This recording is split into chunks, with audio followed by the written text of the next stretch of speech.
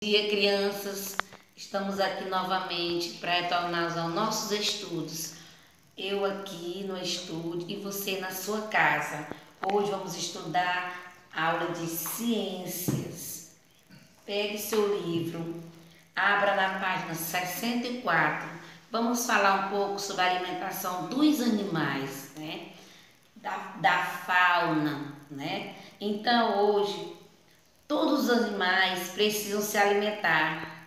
Cada ser vivo precisa do seu próprio alimento. Cada um de nós, seres né, vivos, seja homens ou animais, precisa da sua própria alimentação. Né? E essa alimentação está dividida em três classificações: herbívoros, carnívoros e onívoros Lá no livro, na página 64, que você tem na sua casa, na página 64, onde fala, de acordo com o tipo de alimento que os animais consomem, eles podem ser herbívoro, carnívoro ou onívoro. Observando a imagem do livro didático, os herbívoros que tem aí, que você está olhando essa imagem, que imagem você está vendo? De herbívoro.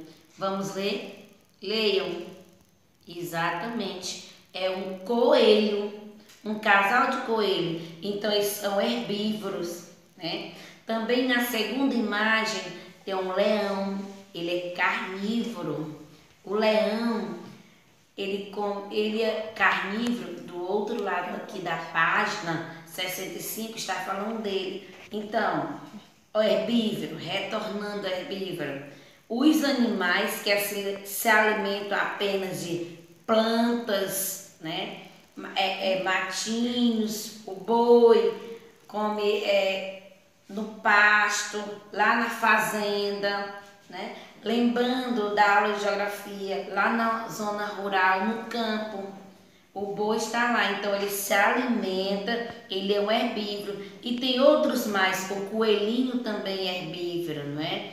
Ele come esse mesmo alimento, que são as plantas, o coelho, o cavalo, eles também são herbívoros, que se alimentam de folhas, né, de pequenos matinhos.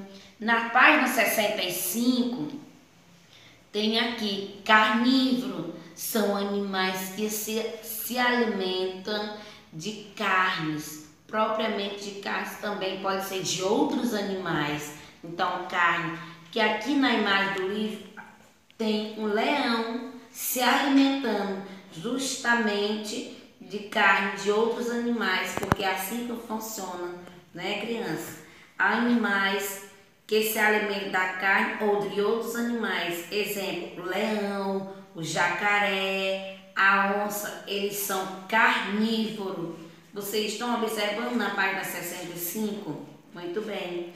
E os onívoros, tia? Eu já li aqui no livro, que vocês já sabem ler, a maior parte. Os onívoros, existem também ainda animais que se alimentam de plantas e de outros animais. Por exemplo, o urso. O urso, ele se alimenta de plantas, mas ele também come peixe. Né? E nós, seres humanos, que nós seres humanos são onívoros, nós comemos o peixe, comemos carne, né? Comemos frutinhas, vegetais.